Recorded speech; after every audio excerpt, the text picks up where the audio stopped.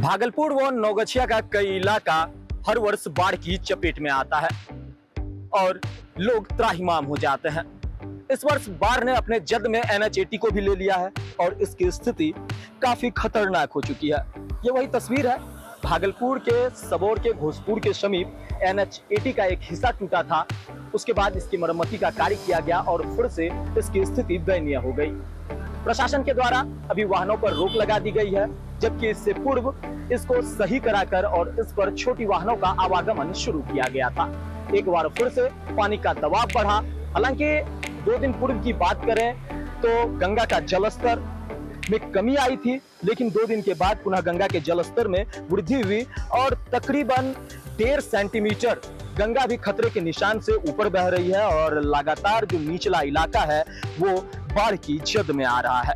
आप तमाम तस्वीर देख रहे होंगे कि आपको जिधर भी नज़र आ रहा होगा, वो सिर्फ़ पानी ही नज़र आ रहा है और पूरा इलाका समुद्र की तरह नज़र आता दिख रहा है। ये वो तस्वीर है एनएच की। तमाम अधिकारी यहाँ पर निरीक्षण कर रहे हैं। लगातार यहाँ पर जो बचाव कार्य है, वो किया जा रहा है। आपको बता दें कि यहाँ पर जो छोटी गाड़ियाँ थी, उसका आवागमन शुरू किया गया था, लेकिन आपको बता दें कि पुलिस प्रशासन के टीम को यहाँ पर लगाया गया है और दोनों तरफ़ से बैरिकेटिंग कर दी गई ताकि यहाँ से लोगों का आवागमन ना हो सके। अब और भी होता नज़र आ रहा है।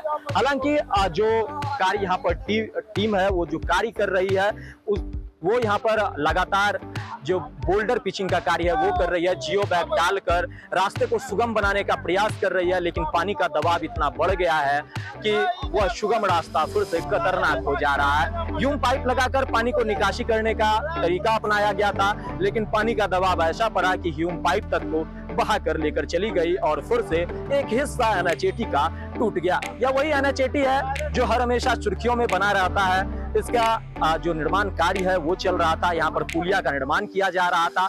तीन पुलिया यहाँ पर फिर से निर्माण किया जा रहा है ताकि जो बाढ़ आए, पानी का जो दबाव है, वो झेल सके। इसको लेकर बड़े पुलिया का निर्माण किया जा रहा था। और उसके बाद उसके बाद आ, अगर यह पुलिया का निर्माण हो जाता है तो यहाँ पर पानी का दबाव कम होगा और एनएचएटी की जो लाइफ है वो बढ़ जाएगी। एक बार देखना होगा कि जब इस पुलिया का निर्माण हो जाता है तो क्या बाढ़ का दंश ये पुलिया झेल पाती है या फिर पुनः एनएचएटी को अपने जद में लेती है? भागलपुर से लोकल एटीन के लिए सत्यम कुमार।